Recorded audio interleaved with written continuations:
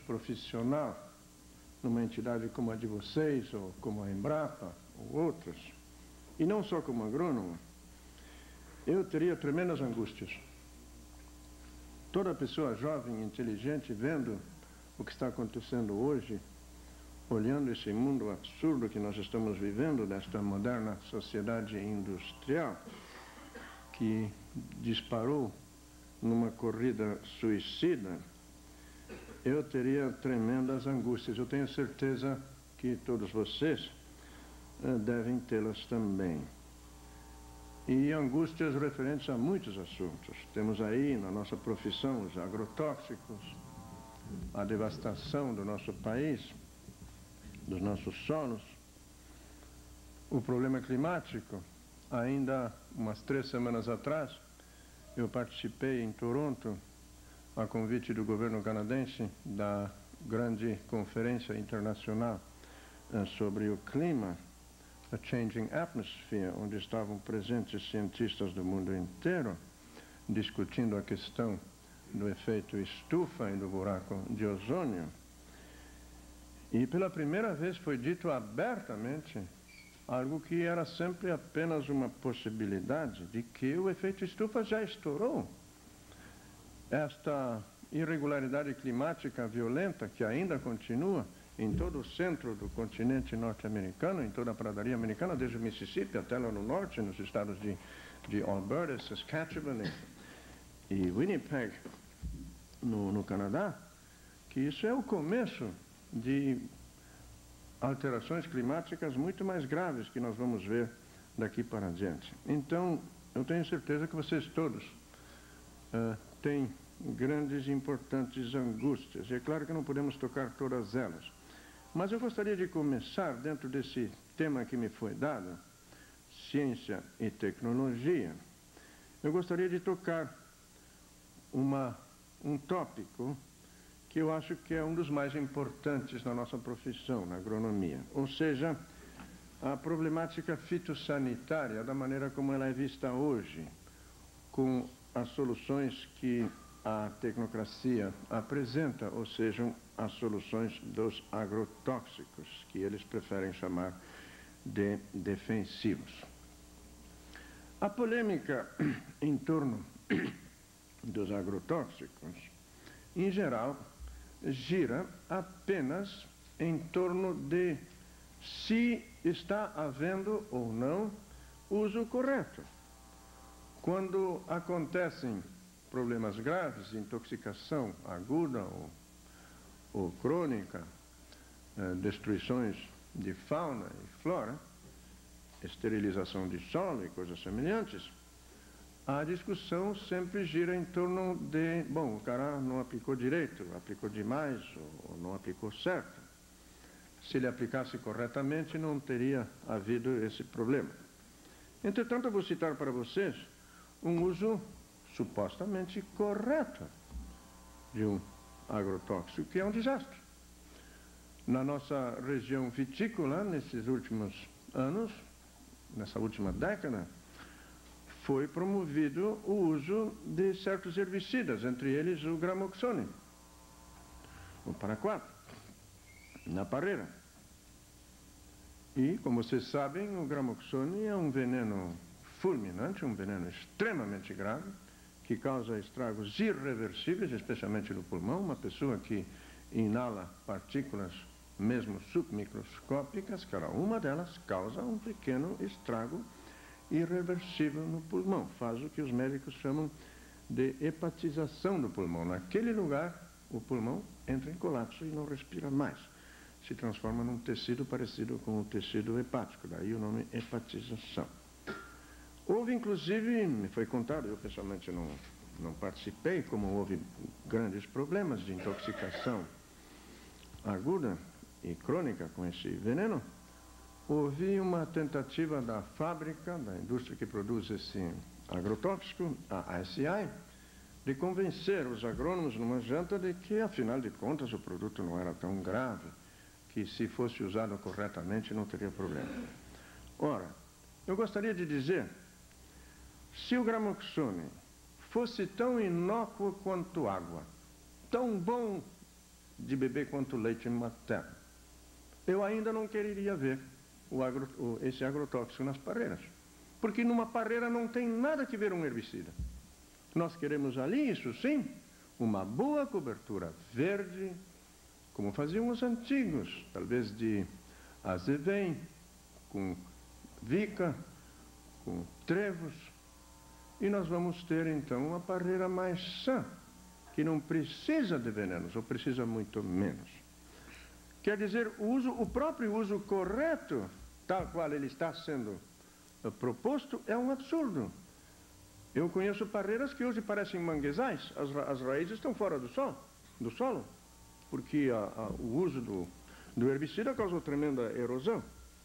Eu vou men mencionar apenas mais um produto, um outro herbicida, onde também o uso correto, correto de acordo com o que a indústria mandava fazer e o que ela dizia em seus lindos folhetos, é um desastre.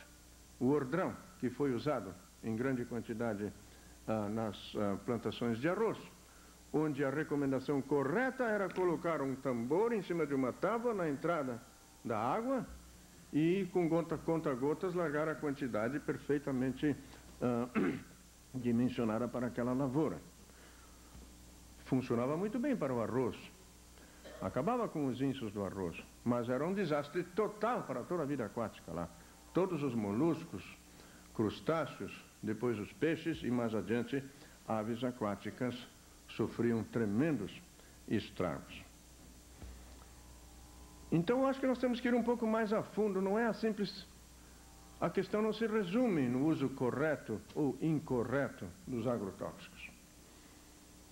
Vejamos uma, uma afirmativa que a indústria química gosta de fazer.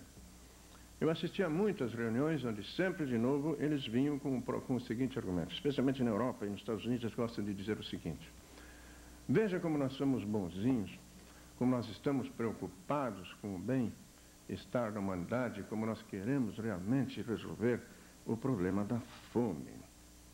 Nós estamos gastando até 100 milhões de dólares e levamos 10 anos pesquisando e preparando para o mercado, registrando um único novo defensivo. 100 milhões de dólares e 10 anos de pesquisa e preparo para o mercado. Eu pessoalmente conheço essa coisa muito bem, porque eu trabalhei na indústria química, trabalhei na BASF, na BASF, Barish Anilinosora Fabrik, e trabalhei também muito na estação experimental e sei como se fazem os agrotóxicos, como eles são desenvolvidos. E realmente custa isso. Eles chegam a gastar até 100 milhões de dólares e pesquisam e trabalham 10 anos por cada agrotóxico novo que eles põem no mercado. E eles gostariam que nós aceitássemos então esse fato como prova do quanto eles estão preocupados com o bem-estar da humanidade. E veja que eles colocam no mercado algumas dezenas de substâncias ativas novas todos os anos, ou seja, dezenas de vezes 100 milhões de dólares que se gastam. Ora, quando eu me vejo confrontado com esse tipo de afirmativa, quando eles me dão a oportunidade de contestar, eu gosto de dizer o seguinte: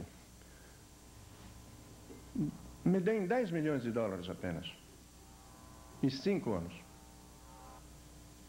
E em 5 anos eu vou devolver esses 10 milhões de dólares para vocês.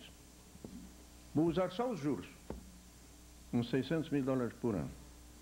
Com esse dinheiro eu vou colocar, vou pagar bons salários e gastos de viagem para uma dúzia ou duas de jovens biólogos, agrônomos, florestais, veterinários. Em cinco anos, eu trago magníficas soluções para a grande maioria de nossos problemas fitossanitários, num país do tamanho do Brasil. Mas serão soluções bem diferentes das de vocês. O que vocês, dirigindo a indústria química, estão procurando são produtos, substâncias patenteáveis. Produtos ou processos para os quais vocês têm direitos exclusivos. Onde vocês têm condições de colocar o agricultor numa, numa situação de dependência. Vejamos um exemplo concreto. Hoje, no café, nas regiões cafeeiras do Brasil, é comum se usar herbicida, o que já significa um problema de erosão, porque a maioria das plantações são em terras íngremes. O herbicida como biotóxico que é, como biocida que é, perdão, ele afeta a microvida do solo, mesmo que não acabe com ela, ele causa certos deslizes, certos desvios. Ele afeta o metabolismo da própria planta do café, o que aumenta a suscetibilidade a pragas. Depois se manda colocar adubos sintéticos solúveis, ou seja, sais altamente concentrados, que não são venenos, claro que não são, mas da maneira como são aplicados significam mais uma agressão à microvida daquele solo e significam também mais desequilíbrio metabólico para aquela planta. Uh, muitas vezes se faz também tremendas agressões mecânicas àquele solo. Se vocês olharem o que acontece aqui no nosso estado, nas plantações de macieira, eu nem sei como é que aquelas macieiras produzem ainda, porque todos os anos elas são violentamente mutiladas em seu sistema radicular. O resultado desse tipo de tratamento é uma planta que quase sempre, então, apresenta certos problemas de parasitas e pragas. Aparece no café a broca, aparece um mineiro e um fungo, em geral, o, a ferrugem. Aí, então, se vende inseticidas de contato, eh, sistêmicos e fungicidas. Não demora, aparecem outros problemas. Aparecem ácaros, então temos que colocar acaricidas, e aparecem, numa fase já mais adiante, mais de maior degradação ainda do solo, podem aparecer até nematóides. Uma praga que vocês todos sabem que é de muito difícil controle químico. Mas tudo isso é muito bom para aqueles que vendem esses produtos. Porque quanto mais eles vendem, mais eles têm que vender. Não há negócio mais fácil do que esse dos agrotóxicos. Ele tem muita semelhança com o negócio dos, uh, dos entorpecentes. No, no entorpecente, se eu quero enriquecer com, com coca, com cocaína, esse tipo de coisa, então eu vou distribuir amostras gratuitas para minhas futuras vítimas.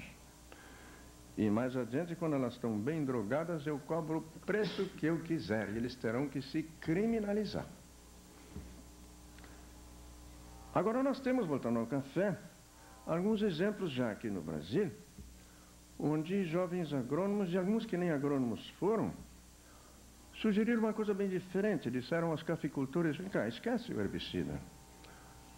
Deixa vir uma boa capa verde de gramíneas e leguminosas, especialmente leguminosas. E para, para não teres o custo de manter isso baixo, coloca ovelha dentro do café. A ovelha não gosta do, da folha do café, ela mantém aquela capa verde bem tosadinha, ela produz um esterco muito bem distribuído, ao contrário da vaca, não é? Depois de um ano ou dois, Aquele cafezal fica lindo, um verde escuro, profundo, aumenta a produtividade e diminui os custos e aumenta inclusive a qualidade. Naturalmente tem que também usar um pouco menos ou de preferência não usar mais adubos nitrogenados solúveis. Se puder fazer uma adubação orgânica, muito bem. Se não, faz adubação mineral insolúvel, se for necessário. Na maioria dos casos, nem mais será necessário, levando em conta as quantidades fabulosas de fósforo e potássio que foram colocados nos anos passados e que ainda estão ali. Agora vem o aspecto político dessas duas recomendações diferentes. A primeira é, é interessante para grandes tecnoburocracias que deixam o agricultor numa situação de dependência. A segunda, se eu visitar um agricultor e der essa, esse tipo de recomendação para ele, eu posso, como agrônomo autônomo, que é o que eu sou, ganhar uma ou duas vezes um honorário modesto pela recomendação. Em geral, para esse tipo de recomendações, não pago nada, como você sabe. Porque a minha recomendação não é patenteável. Esse tipo de recomendação, dentro do esquema em que nós vivemos, é subversivo. Isso não concentra capital. Isso não interessa os poderosos. Porque isso só fortalece o pequeno, torna o pequeno mais de, menos dependente do grande. O que nós precisamos hoje é uma crítica política da tecnologia. Como o tempo é escasso, eu vou ficar nesse exemplo, mas eu poderia trazer, tanto dentro da agronomia, como na veterinária, como na engenharia sanitária, como em outras, outros ramos da tecnologia moderna, na, agro, na, na, na arquitetura, digamos, nos transportes, na energia, eu poderia trazer centenas de exemplos semelhantes, onde as verdadeiras soluções, aquelas que realmente resolvem problemas de satisfação de reais necessidades humanas, dentro de um contexto humano e socialmente são e justo, estas soluções, estas soluções o esquema, se não as consegue suprimir, pelo menos as mantém desconhecidas, ignoradas, e as combate até em certos casos. Isso é fundamental. Infelizmente, o que eu chamo de uma crítica política da tecnologia não está acontecendo. E, sobretudo, não está acontecendo onde mais deveria de acontecer. Nos nossos grêmios políticos, nas câmaras de vereadores, nas assembleias estaduais, no parlamento federal, não está acontecendo isso ou quase nada. Em geral, os nossos políticos até pedem. Agora o Pedro Simão está pedindo mais polo petroquímico. Quando o que ele deveria estar pedindo é uma agricultura mais sã, uma pecuária mais sã. Aí sim nós poderíamos estar criando não 10 ou 20 mil empregos, poderíamos estar criando 2 milhões de empregos, numa paisagem mais bela, mais sã, com mais futuro para nossos filhos. Mas esse pessoal não tem noção dessa, dessa problemática. Como eles não entendem de ciência, não entendem muito menos de tecnologia, e muito menos dos aspectos políticos da tecnologia, dos quais nós vamos falar mais adiante, essa crítica política da, da tecnologia não está acontecendo. E, no entanto, ela é fundamental. Ainda dentro do contexto dos agrotóxicos,